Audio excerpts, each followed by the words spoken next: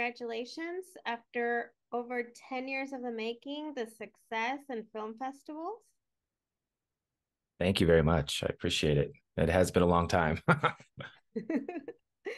how does it feel to be at this point now? Because, I mean, the process, your name's all over this project, you know, including editor, director, writer. Um, what, how, how has this like symbolized in your career? Because it also is i believe your feature film. Yeah it is. It is my first feature and it's you know uh like a third of my life. So it's definitely like something that uh you know feels good to finally have out. And you know I, I could say when i started it i didn't intend to edit and do a lot of other things that I had to do on the movie. But you know, with independent filmmaking over over time, you know, eventually you just kind of have to do what it takes to get the job done. And sometimes that's uh, you doing it yourself. So I actually learned. I edited. I used to do music videos back in the day and in the early 2000s and stuff. And so I, I did edit a little bit, but I actually really went through the mud on editing this because it was years of editing so much footage. So so I I think I kind of got my editing film school on this movie. How did you get all this footage? How did you put it together? I mean, there were some that said like our local news. I'm in LA. So when I saw that, I was like, it makes you like really question it. I mean, that was the intention. I mean, I kind of realized. So, for instance, KTLA, like uh, for me, I I I watch the local news. I'll, I'll admit it. I, I actually like the local news, and uh, KTLA is probably like our most local local news in my opinion. So and my office used to be on the same lot as KTLA too, so it was just kind of a connection we had there. But uh, KTLA also has Rick Chambers, and Rick Chambers does a whole lot of feature films. He does a whole lot of big, big budget movies and stuff. So he's fairly recognizable. So the idea was everybody in LA will make it, it'll feel real to them. But maybe if I use Rick Chambers as well, that people maybe across the country might recognize him or feel like they recognize him. Um, but the news, you know, the KTLA stuff was it, it, just it's just compiling over the years. I mean, there's 30 different cameras that have been used on this. So much different technology uh, went into this film.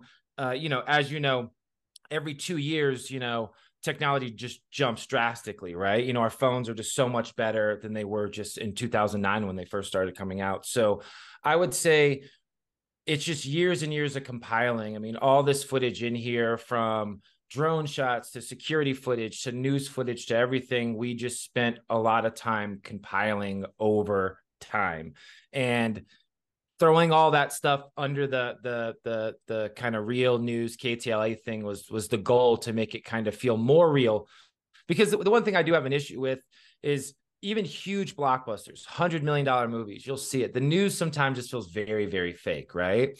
So if they get like Wolf Blitzer and CNN, you're like, oh, that feels very real because you're used to seeing people like that on CNN.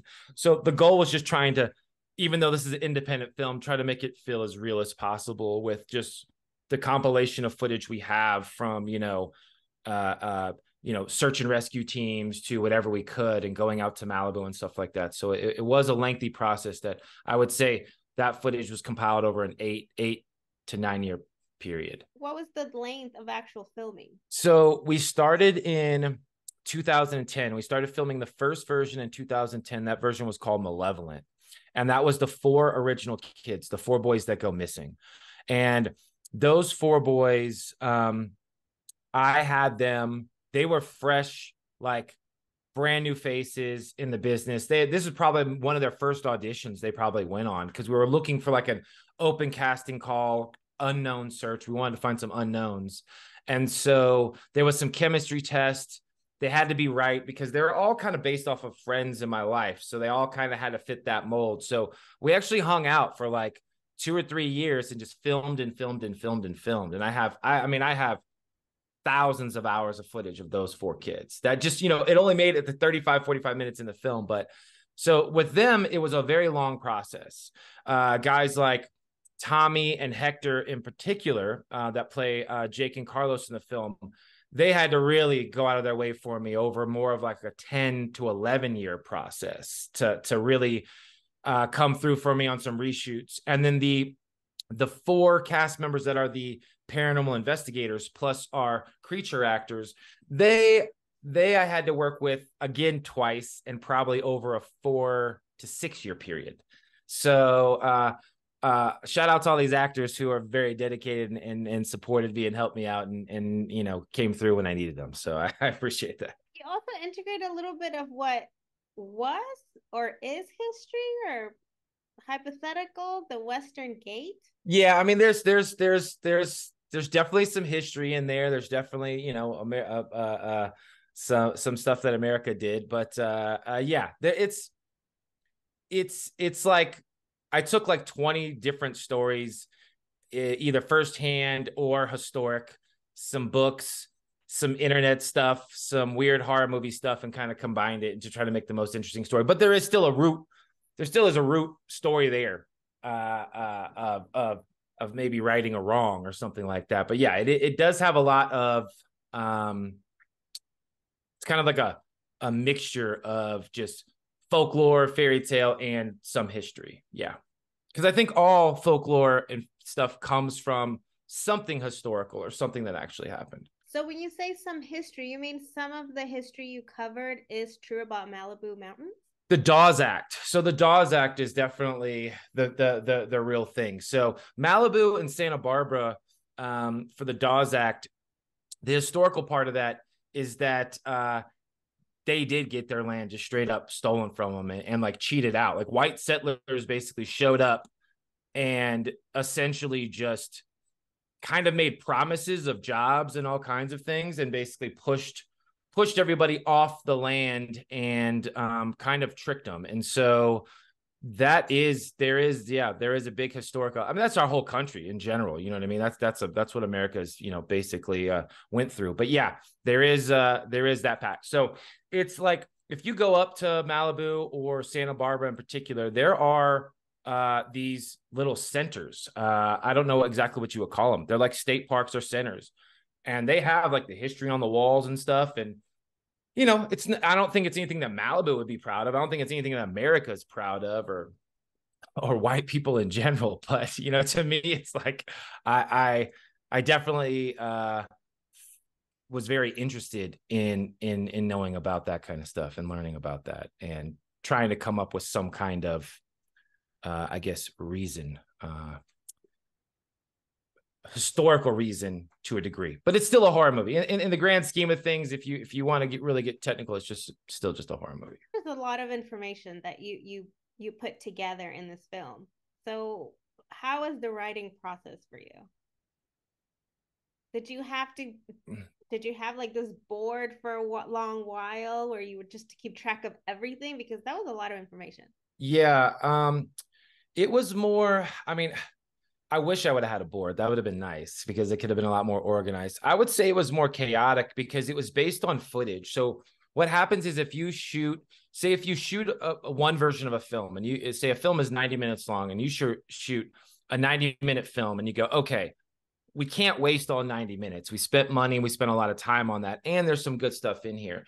You pull out, say, 10 minutes here, 10 minutes there that's already kind of baked into the story. So you kind of you're kind of handcuffed. You can't make just like a new story. You kind of have to say, okay, I've shot this. This is in the movie. So board wise, yeah, that would be one of those index cards that says, hey, this is here and this is here.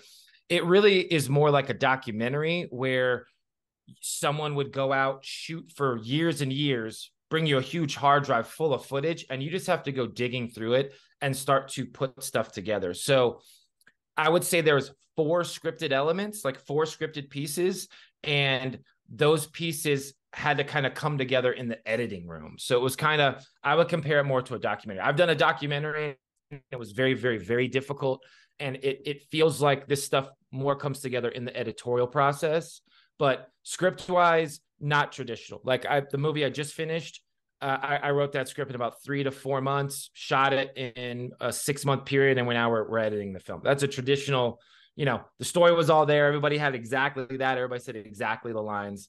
This was a lot of uh, improvising and, um, you know, those four original kids. I, the one thing I can really give them credit for, uh, even though they might have cussed too many times, uh, they they improvised mostly all of their stuff. Like I wanted their like true selves to come out, and so um, you know, that that part in general was just a blueprint. And even even the newer kids you know we just had more of a blueprint but it is a script. I did actually at the end of everything assemble it all together and go oh okay so we, we actually had all the pieces just difficult to put together. And then once you do it in the editing room you kind of do what we call a transcript. You have to go back to your script and say okay we put this piece here instead of there so that's where that that that board would have really come into to play so how did you maneuver when it came to shooting the films on, in caves?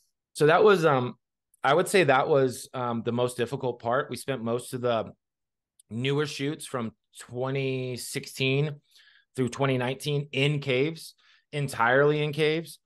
Basically everything we shot prior to 2016 was outside of a cave. Everything from 2016 on was was caves. And so we use two caves. One cave is out there near Six Flags in Valencia uh, at a ranch in Santa Clarita called Blue Cloud. That cave was built for a TV show called Weeds. We built onto it to kind of make it wind a little bit more and um, try to replicate this painted cave that's in Santa Barbara, this like famous cave up in the, in the mountains in Santa Barbara. And then the other cave, the larger cave system we used is the uh, OG uh, Adam West Batman Cave right below the Hollywood sign in Bronson Park, Bronson Canyon Park in Hollywood. So that that cave was a little bit easier to maneuver through, but both of them, I would say, you get very very claustrophobic. And this was pre-COVID, so we were all wearing masks because of all the dust that get, gets kicked up. So you know, when you got home at the end of the day, you just had a, a, a tremendous amount of dust. So it was very difficult I won't lie, I had a couple like panic attacks just being like I'm not claustrophobic at all, but when you're in a cave for 12 to 16 hours a day every day for like 3 weeks straight, like you can start to it can start to mess with your mind a little bit. So I will say that there was a couple times I had to like step out and just like take fresh air because it did kind of cause like a anxiety or a panic, you know. So caves were difficult, not gonna lie. Wow. Well, thank you for your time. For those of us that are from LA, then with this information, now when they watch the film, they'll be like taking note and like, oh, that's where it was. Yeah, the whole thing shot in LA, Malibu, and Los Angeles for sure. Yeah. We didn't we didn't go out out, out of the range at all. So and you fooled me. I Googled what four kids went missing at one point. That's awesome. That's awesome. Yeah. I mean, early on, just to let you know, early on in Malibu, um, we made about 100 or 200 of those missing posters and we put them all over Malibu just for like 2 hours. And like within like 20 minutes we knew we had caused like a panic. So we had to go like rip them all down but we were just filming them so in the film you'll see some random people just staring at and it's just the back of them so you can't see who they are but those are real people like thinking that kids went missing. And and there's actually facebook pages of these kids real facebook pages of these kids that ended in 2012 you can still dig those up um, so we tried everything we could at, at that point in time, but that that's that's awesome to know that you looked that up. That's great. That means we did our job. Yes, I was fooled. Thank you. I was like, where are these missing kids? Why can't I find them? I'm like, wait a minute. Something, That's I'm great. something That's here. great. That's great. Well, thank you again for your time and congratulations. Thank you, Nancy. I appreciate it. You have a nice day. Thank you for having me.